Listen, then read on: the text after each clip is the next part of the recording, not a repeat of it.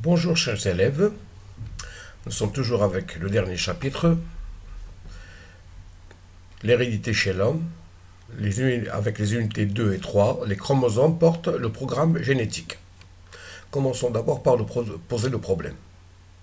Alors lisons, l'œuf résulte d'une fécondation caractérisée par la fusion de deux noyaux mâles et femelles, dont chacun porte un programme génétique, un paternel et l'autre maternel. Première question. Comment peut-on mettre en évidence la localisation du programme génétique dans la cellule? Comment les chromosomes transmettent-ils les caractères héréditaires des parents aux enfants? On va définir ce que c'est qu'un chromosome, ou bien les chromosomes. Commençons tout d'abord par la localisation du programme génétique dans la cellule. Alors, on va décrire les étapes de l'expérience représentées par le document ci-dessous et en déduire la localisation du programme génétique dans la cellule. Alors pour cela, une expérience a été effectuée et qui est la suivante. On a pris une vache donneuse A, blanche et tachetée de noir. Elle était déjà croisée avec un taureau ayant le même caractère. C'est-à-dire le, même taureau a été euh, euh, blanc et tacheté de noir. Alors, on a pris l'embryon, on a pris une cellule, on a pris une cellule de cet embryon dont on a extrait le noyau. Je répète, on a pris une cellule embryonnaire issue de la vache A et on a extrait de cette cellule le noyau. Une autre vache qui est différente, c'est-à-dire la vache donneuse B rouge,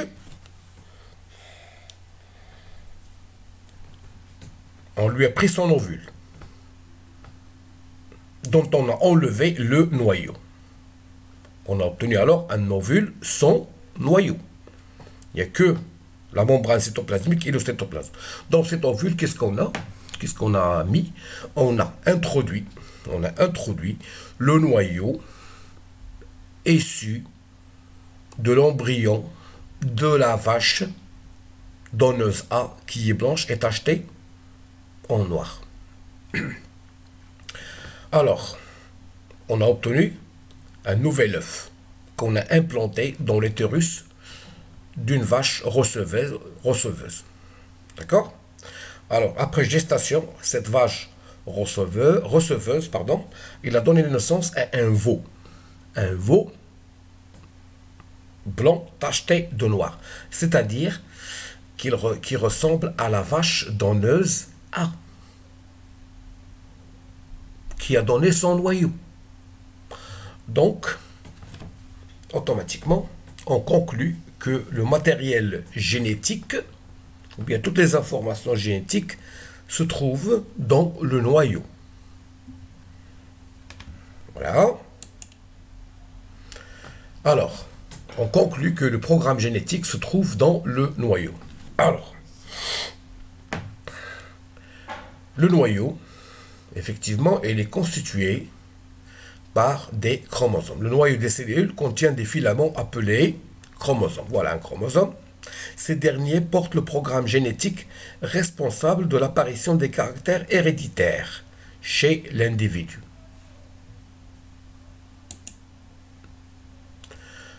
Alors, la carte chromosomique chez l'homme. On parle de carte chromosomique ou de karyotype. Alors c'est quoi le karyotype? Le karyotype est une représentation sous forme de photographie de l'ensemble des chromosomes d'une cellule classée par paire selon la taille. Donc on a le karyotype d'une femme et on va le comparer avec le karyotype d'un homme. Alors, les chromosomes sont rangés par couple ou paire. Nous avons le couple 1, le couple 1 ici chez l'homme aussi, ou bien la, euh, la, paire 1, la paire 2, le couple 2, le couple 3, etc. Alors, chaque couple de chromosomes, on les appelle des chromosomes homologues. L'ensemble de ces chromosomes, ou bien l'ensemble de, de ces couples de chromosomes, constitue le karyotype.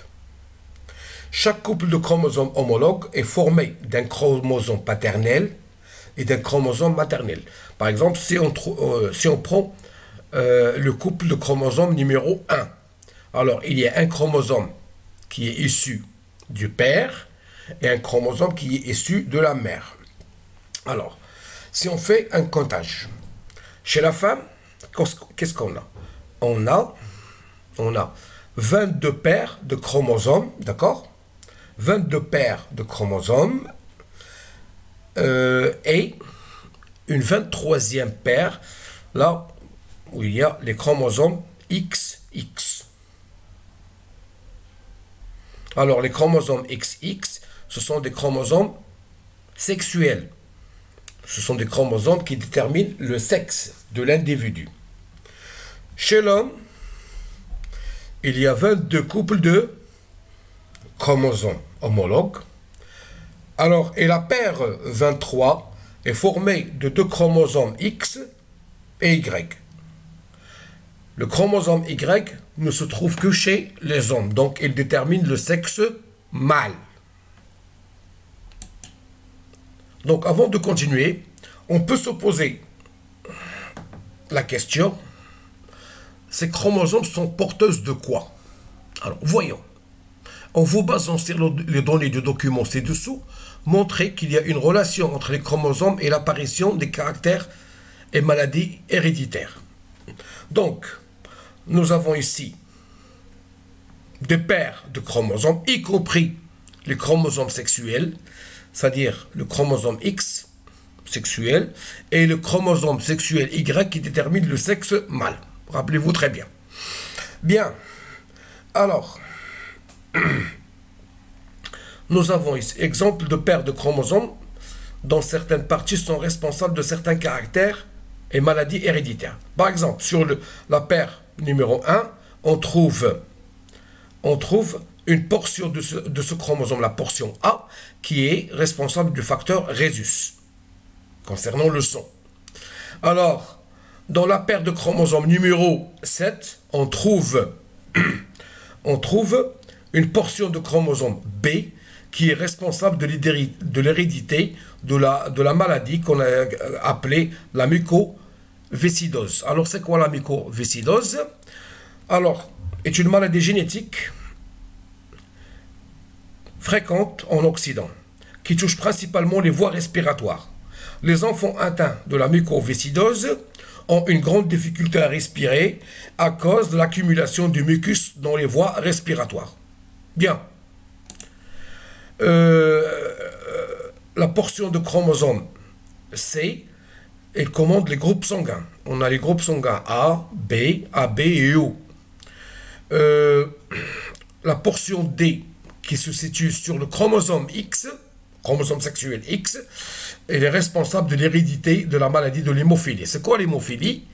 L'hémophilie est une anomalie de coagulation de sang, c'est-à-dire en cas d'hémorragie, euh, le, sang ne coagule pas, ne durcit pas et on ne peut pas stopper l'hémorragie euh, sans l'intervention du médecin.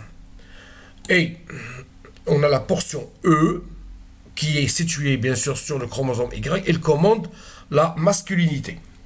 Donc, des techniques très pointues ont permis de savoir que les chromosomes sont subdivisés en portions appelées gènes. Je répète, ils sont subdivisés en portions appelées gènes. Chaque gène commande l'expression d'un caractère ou d'une maladie héréditaire. Il y a donc une relation étroite entre les chromosomes et l'apparition des caractères héréditaires les maladies héréditaires.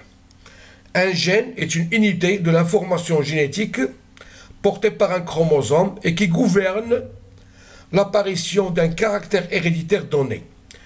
Un gène occupe la même position sur chacun des deux chromosomes, c'est-à-dire les chromosomes homologues, d'une même paire de chromosomes homologues. Par exemple, on a ici le même gène, donc A, c'est un gène il occupe la même place sur les deux chromosomes homologues. La même chose pour le, gène B, la même chose pour le gène C, la même chose pour le gène D.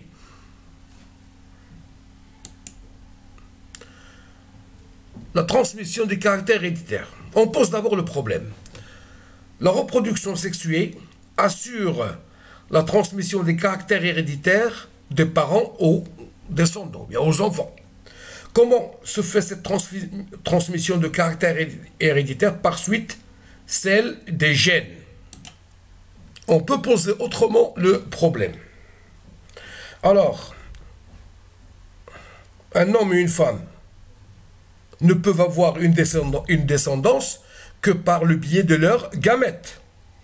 Alors, si chaque cellule de l'homme contient 23 paires de chromosomes et chaque cellule de la femme contient 23 paires de chromosomes, alors on peut penser que lors de la fusion du gamète, on obtient une cellule œuf qui est à 46 paires de chromosomes, qui est impossible. Alors, comment peut-on expliquer que toute la race humaine, dans toutes ces cellules, il y a 23 paires de chromosomes? Alors, les chromosomes homologues se séparent et se regroupent. Je répète, on fait attention à ce titre, les chromosomes homologues se séparent et se regroupent. Alors, comparons les cartes chromosomiques des gamètes mâles et des gamètes femelles. Alors, nous avons ici une carte chromosomique d'un spermatozoïde. Là aussi, on a une carte chromosomique, une autre carte chromosomique d'un spermatozoïde.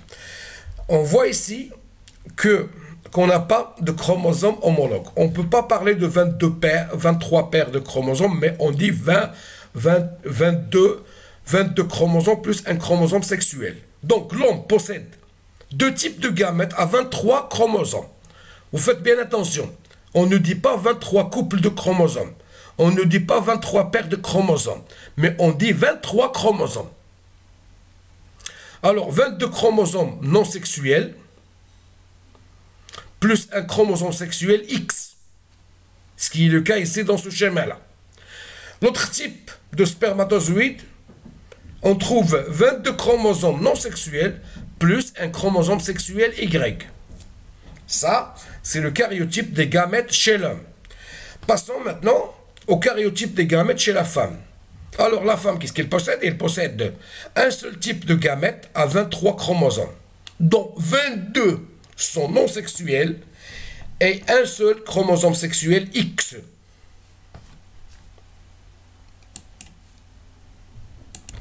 Alors pendant la formation des gamètes, les chromosomes homologues se séparent.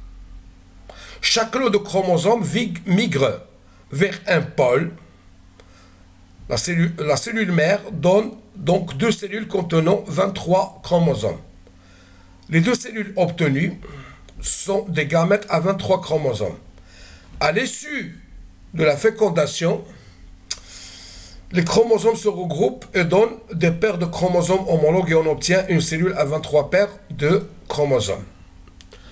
Expliquons davantage. Nous avons ici, chez le père, des chromosomes homologues, comme chez la mère. Alors pour la formation des gamètes, on voit que le nombre de chromosomes est réduit de moitié. Chaque gamète porteur d'un seul chromosome, mais son homologue, est partie dans un autre gamète. D'accord? La même chose pour la femme. Chez la mère, toutes ces cellules sont à 23 paires de chromosomes, sauf lorsqu'il y a formation des gamètes, les chromosomes homologues se séparent et, chacun migre vers un gamète. Et lors de la fécondation,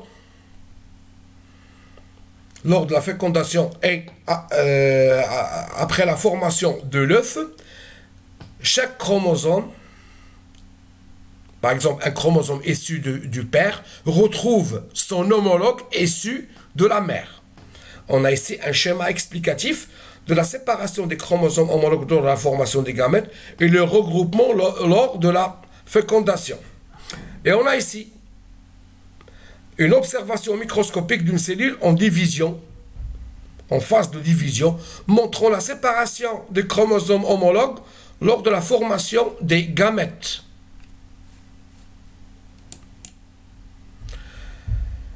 Les chromosomes transmettent les caractères héréditaires. Exploitons le document ci-dessous pour déterminer l'élément qui a transmis le caractère cheveux roux des parents aux enfants. Alors, pour mieux, comprendre, on part avec une, une, seule paire de chromosomes pour le père et la mère. Surtout la paire chromosome de chromosomes qui est porteuse du caractère cheveux roux, ou bien des, porteuse des gènes responsables des cheveux roux ou bruns. Alors, on a un père à cheveux bruns. Mais remarquez, remarquez, alors, dans un chromosome, il porte le gène cheveux bruns, et dans l'autre chromosome homologue, il porte le gène euh, de, la couleur rousse des cheveux. Mais il ne faut pas oublier que le caractère cheveux roux est récessif. C'est-à-dire, lorsque le gène cheveux bruns est en présence du gène cheveux roux, le gène qui, s'exprime, c'est le gène cheveux bruns. La maman, elle aussi, elle a des cheveux bruns, mais dans sa paire de chromosomes, elle a un gène cheveux bruns et un gène cheveux roux. Alors l'homme, il produit deux types de gamètes. Comme la femme, il va produire deux types de gamètes. Alors dans un gamète, on va trouver le gène responsable des cheveux bruns et dans l'autre, on aura un gamète porteur du gène cheveux roux. Et la même chose pour la mère, pour la, maman. Alors une fois les gamètes sont produits, alors la fécondation donne lieu à toutes les combinaisons possibles qu'on voit ici. À toutes les combinaisons possibles. Alors, avec un pourcentage de 25% pour que les deux gènes B et B se, euh, se trouvent dans la même cellule œuf. Et un pourcentage de 25% pour que les gènes R et R se trouvent dans euh, le même œuf. Et un pourcentage de 50%, 50% pour que les gènes B et R se trouvent dans le même œuf. Donc, ils peuvent avoir, ils ont une, 25% de chance d'avoir un enfant avec des cheveux bruns, 50% aussi, plus 50% d'avoir un enfant avec des cheveux bruns, et uniquement 25% pour avoir un enfant à cheveux roux. Il faut noter que l'apparition des cheveux roux, euh, des cheveux roux ne peut, ne peut être possible que si on réunit les deux gènes R et R. Merci de votre attention, chers élèves.